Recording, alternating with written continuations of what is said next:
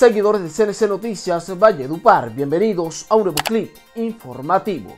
Hoy lunes 18 de mayo salen a mercar y hacer otras diligencias las personas cuya cédula terminen en 2 y 3. Esto aplica para los municipios de Valledupar, La Paz, San Diego y Manaure.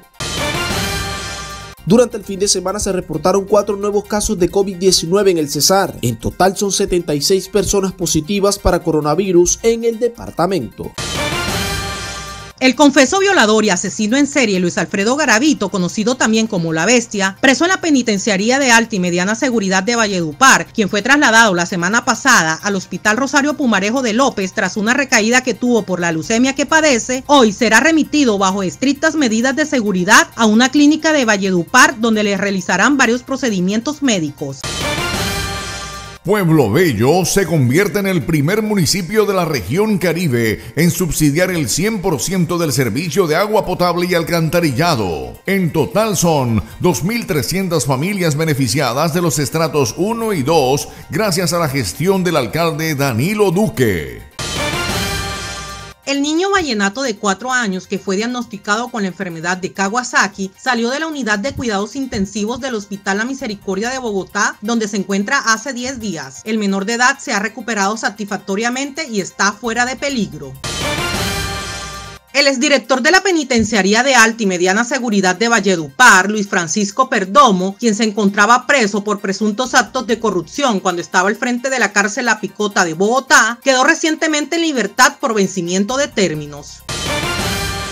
Rafael Uribe Noguera, condenado a 51 años de prisión por la violación y asesinato a una niña de 7 años en Bogotá en diciembre de 2016, quien purga la condena en la cárcel de alta y mediana seguridad de Valledupar, también conocida como la Tramacúa, recibió una rebaja de pena por trabajo equivalente a un mes, 9 días y 12 horas.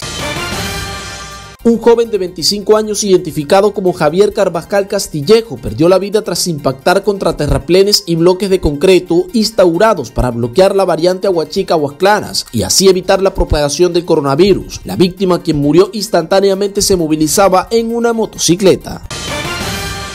Un muerto y un herido dejó como saldo un ataque sicarial perpetrado este domingo al interior de un billar ubicado en Pailitas. John Freddy Trujillo Navarro, de 41 años, quien recibió un disparo en el tórax, murió cuando recibía atención médica en el hospital local, mientras que Heider Carvajalino resultó lesionado tras ser baleado en una de sus piernas. Es de anotar que estos individuos eran esmovilizados de las autodefensas y presentan anotaciones judiciales por distintos delitos.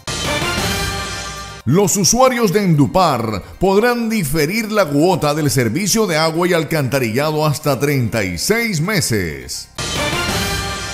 En delicado estado de salud se encuentra en una clínica de la ciudad de Valledupar Alejandro Escorcia, luego de sufrir un accidente de tránsito en el barrio La Victoria por agresión a un policía que realizaba un procedimiento en el barrio Pontevedra de Valledupar, fueron capturadas dos personas. Según pudo conocer CNC Valledupar, los dos presuntos agresores son venezolanos que se dedican a la mensajería.